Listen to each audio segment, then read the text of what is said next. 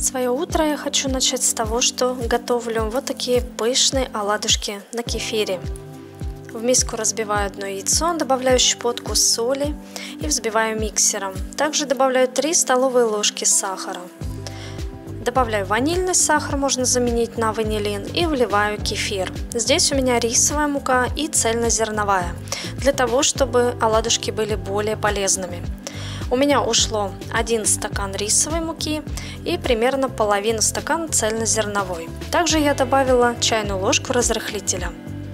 Смазываю сковороду растительным маслом и выкладываю тесто, не мешая, столовой ложкой, вот таким образом.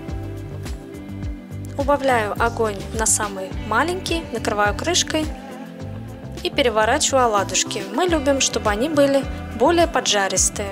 Вы, естественно, жарите так, как вам нравится но они получаются очень пышными, нежными, обязательно попробуйте. Друзья, всем огромный привет, добро пожаловать на наш канал. А, в общем, теперь мой канал будет в ближайшее время о переезде, о переезде в Краснодар, поэтому, если кому интересна эта тема, оставайтесь с нами, подписывайтесь. Также в старых плейлистах вы можете найти видео про строительство, ремонт нашего дома, в котором нахожусь сейчас я, который мы продали для того, чтобы переехать в теплые края, так скажем. И э, сегодня хочу вам показать посылку, которую мне прислали.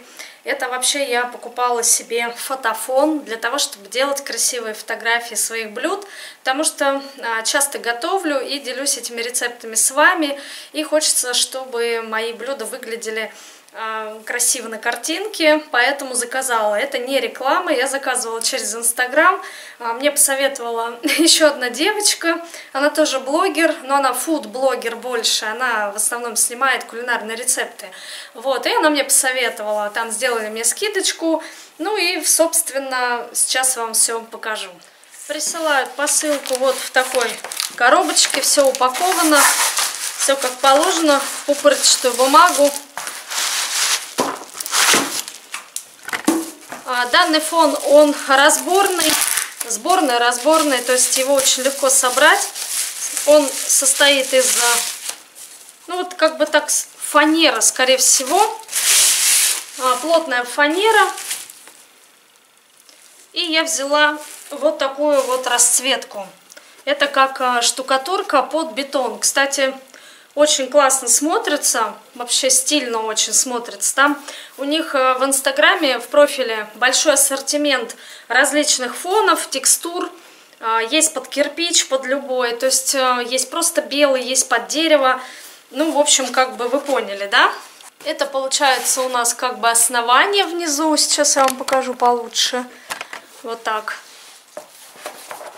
И вставляются в пазы. Так, собрала. Там, в принципе, ничего сложного. В пазы вставляются вот эти фоны. Ну и, собственно, двумя руками буквально 2 секунды, и вот такой фон готов. Ну и как бы сейчас поставим что-нибудь туда, продемонстрируем, я вам покажу. Ну вот смотрите, как будет смотреться, допустим, что-то на фоне.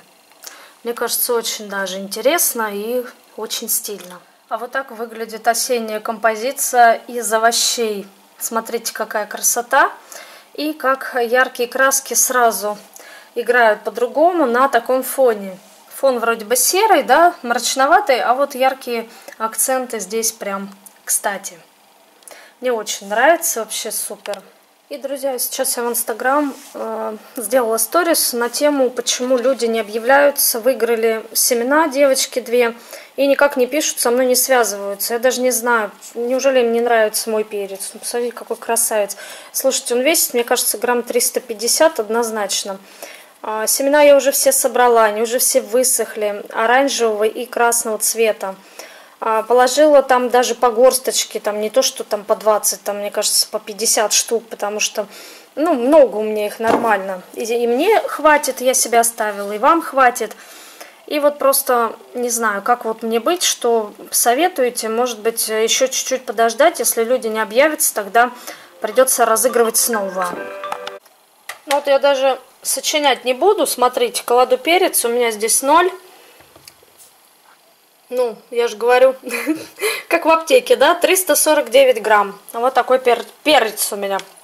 Пер перчиха выросла, огромная, красивая. Мы едим потихонечку, уже там мало у меня осталось. Эта погода еще позволяет, у нас ночью там плюс 6, плюс 8, поэтому э, едим. У нас уже процесс пошел.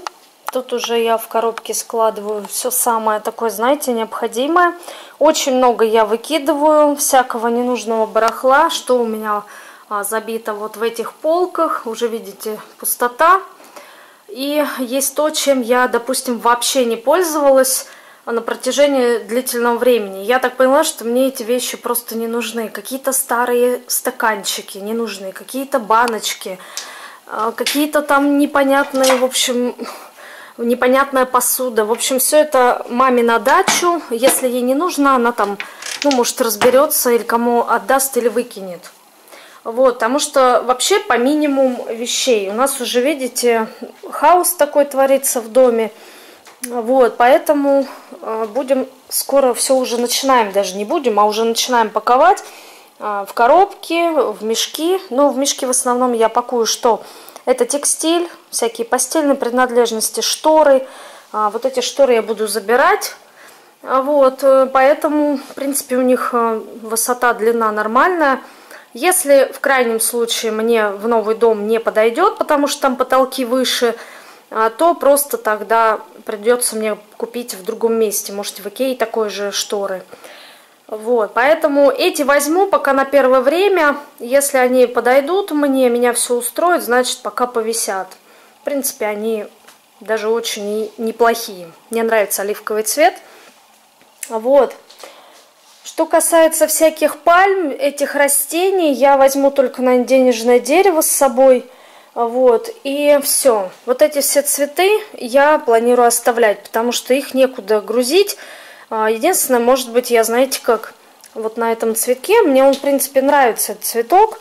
Он сам по себе красивый, и у него вот отростков там очень много уже. Я себе возьму просто отросток, отломлю, и он у меня также буквально за два года вырастет такого же размера. Поэтому куда-то с ним сейчас ехать, это просто нереально. А, вот. Также мы а, мебель продали. Вот этот диван мы продали, мы его не забираем. А, в общем, по сути, мы заберем только технику, морозилку, э, холодильник и духовой шкаф. Вот, посудомойку, естественно, варочную поверхность газовую забираем, ну, микроволновку. Вот, все остальное, это все остается здесь. Стол, стулья также оставляем здесь, потому что, ну, реально некуда сейчас тащить это все хозяйство. Стиральную машину также продали, и я планирую себе купить новую. Вообще мне как бы Аристон, она сама по себе по факту не нравилась. Вот, поэтому придется выбрать машинку. В ванной комнате вот это все остается, мебель я имею в виду. А, мы ничего не забираем, тоже все оставляем. Возможно, я, ну не знаю, даже куплю в другом доме совсем другую мебель. Может быть, мне что-то приглянется в такой же Икее взять. Вот, поэтому буду пересматривать свой дизайн уже в новом доме. Будет, возможно, все по-другому. Что касается теперь дивана в кабинете, как видите, у нас его нет. Нас его купили люди. Вот, мы на Авито его продали, у нас приехали, его забрали. Так что вот этот диван такой объемный, он мне тоже, в принципе, особо не нравился. Он очень массивный, неудобный. Вот. И в будущем в кабинет мы купим какой-нибудь такой, ну не раскладной, а может быть обычный такой, знаете, диван-книжку а, потом в будущем. Стол мы этот оставляем здесь. Слава тебе, Господи, как он мне надоел, этот стол. Уж стол купить компьютерный всегда можно, он не стоит таких больших денег. Вот, поэтому оставляем его здесь. А, касается этой кровати, также забираем с собой. Вероника говорит, я хочу забрать. Ей нравится эта кровать. Единственное, вот мы сейчас э, решаем вопрос с матрасом, потому что ну, ждем вот этого эксперта. Он должен приехать к нам завтра. Вы знаете, вот прям вот меня раздражает вот это вот. То есть вот смотрите, во что превратился матрас. То есть он вот сюда вот так вот а, замялся на край, и получается, вот ребенок ложится, и она как бы, знаете, вот так вот скатывается. Он как будто накренился, вот этот матрас, если его вот увидеть. Вот это вот мне все хозяйство не понравилось вообще. Сам каркас-то нормальный, вроде бы. Ну, не знаю, что нам, удастся ли вообще нам решить этот вопрос. Я надеюсь, что удастся. Что касается спальни, у нас гарнитур остается здесь, то есть хозяин будущего купил. А, вот, то есть мы его за отдельную плату а, продали ему, потому что, понимаете, разобрать, конечно, можно. Вот, все можно разобрать, но все равно, как не защищай, при транспортировке где-то что-то, какой-то угол отобьется или еще что-то. Мне просто вот очень жалко эту мебель, потому что она, ну, не дешевая, можно сказать, поэтому мы ему предложили, он говорит, да, все у меня тут уже собрано, будет готово, поэтому оставляйте, конечно, я оплачу. Вот, тем более вы сами знаете, что все новое. Буквально вот недавно мы все собирали, и как Валера смеется, говорит, мы так путем на кровати не успели поспать. Мечтали, мечтали о ней, собрали и в итоге чуть-чуть поспали. Ну, как-то так. Ну, ладно. То есть по приезду, конечно, нужно будет сразу покупать.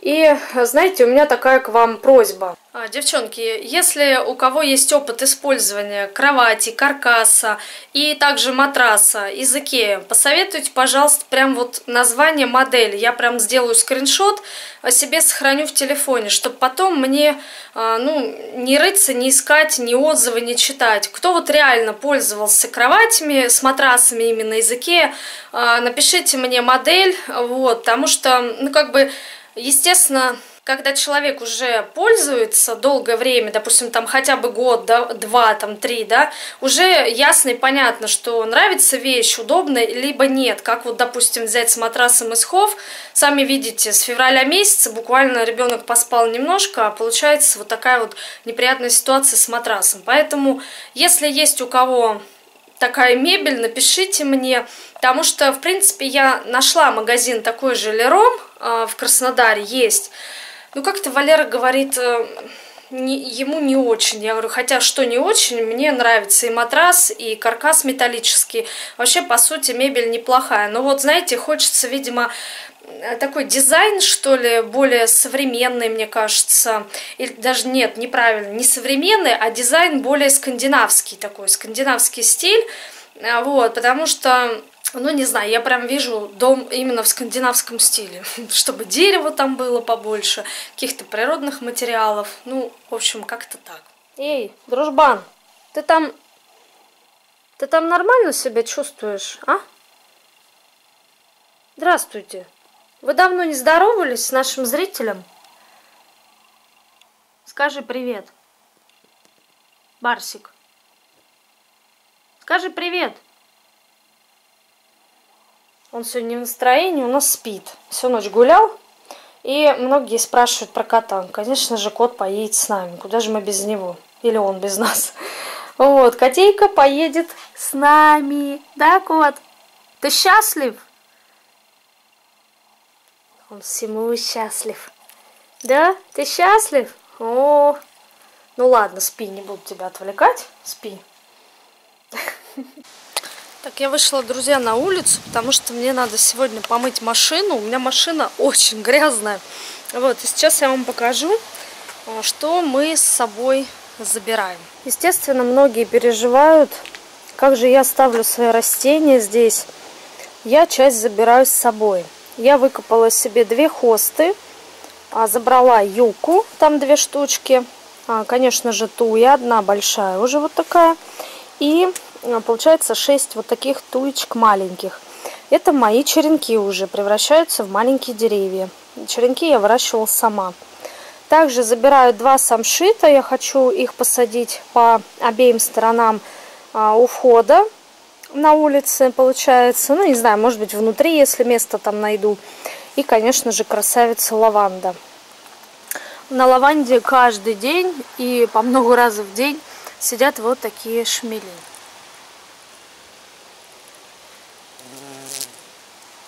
Она просто издает невероятнейший аромат. Вам просто не передать. Это у меня она выросла из маленького кустика. Сразу говорю, девочки, что лаванда у меня посажена только рассады. Никакие семена я не покупала.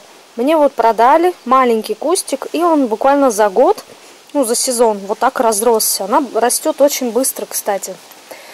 Вот, ну, собственно, и все. А там буду по мере уже приобретения подкупать какие-то растения. Все это по месту, потому что земли там мало.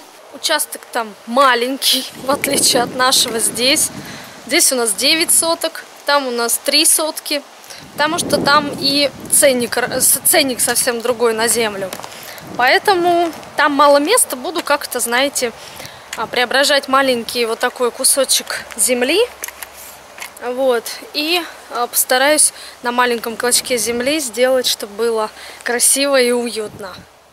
Сейчас буду выгонять машину, мне нужно ее помыть. Она у меня очень грязная, поэтому давайте начнем.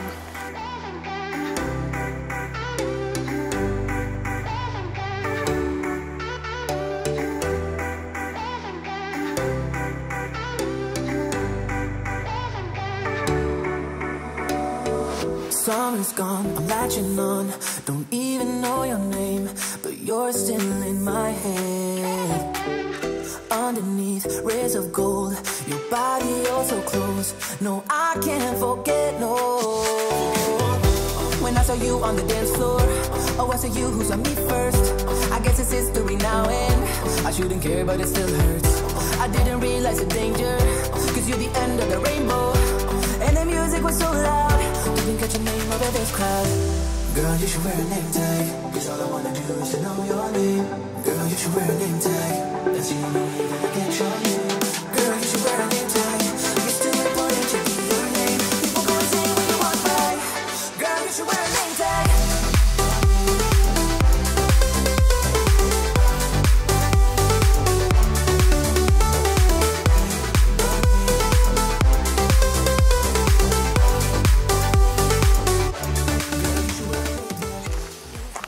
Смотрите, это все мошки после дальней дороги. Они очень тяжело отмываются. И мы моем вот таким удалителем. Покупаем в магазине в обычном автомобильном. Видите, написано быстро удаляет органические загрязнения и полностью растворяет следы гудрона. Это если, допустим, проехались по дороге, где ремонтируют, ну и сами понимаете, там смола. Вот, поэтому это очень хорошо средство очищает. То есть я вот так вот распыляю. Вот, и беру просто... Фу, воняет, правда, знаете, чем? Как керосином. Вот такая вот огромная варежка, тоже от Фаберлик, как и ведро складное. Кстати, очень хорошо моет, настолько толстая, вот эти все пальчики а, пролезают в каждый, в каждый уголочек и очень все хорошо растворяет и отмывает. Видите как? Вот это средство. Вот. А так вот трешь, трешь, трешь, вот это все хозяйство тяжело отмывается. Приходилось, знаете, как меламиновую губку брать и очень-очень аккуратно, потому что ею тоже можно эмаль повредить. Поэтому лучше вот таким вот средством пользоваться. Так, в общем, ладно, я не буду затягивать это видео, буду мыть машину. И сейчас позже к вам уже вернусь. Ну, совсем другой вид, правда? Все-все отмылось. Сейчас буду дальше мыть уже боковые стороны. Мне сегодня надо еще пропылесосить внутри обязательно. Там тоже коврики такие грязные. Просто жуть.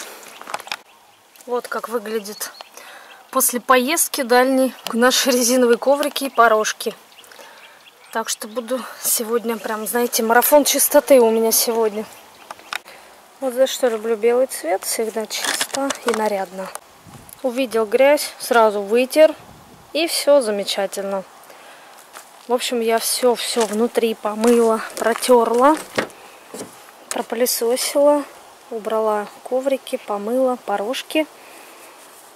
И сейчас немножко, знаете, прополирую вот так вот пороги, чтобы они были более такие, ну, как новенькие.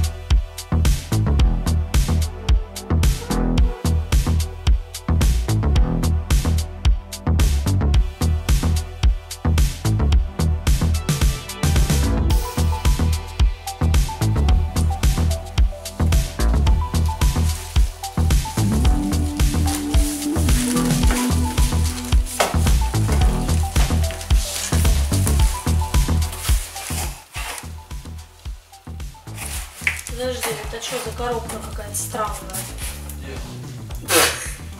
У нее дно, наверное, было картонное. Она, глянь, какая странная. Я ее закрыть пытаюсь, глянь. Офигеть, ну, ладно, да? Накрыть пленкой только сверху, Нет, если. зачем? Картонки еще есть, А, отрежем, сверху? поставим, заклеим, не переживай, Блин, есть. капец. Картонки.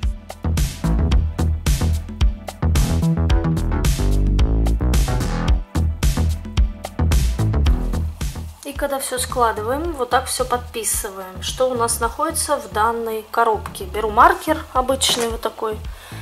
И это очень хорошо и удобно ориентироваться потом, чтобы не вспоминать, где что лежит.